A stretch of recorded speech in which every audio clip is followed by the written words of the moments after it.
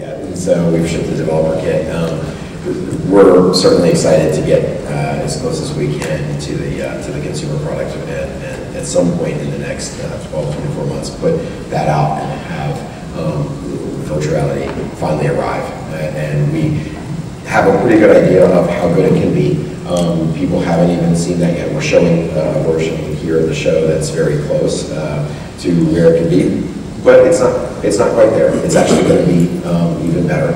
And uh, it's, it's surprising to see how much better it can be. So we're just really excited to see uh, virtual reality arrive for the first time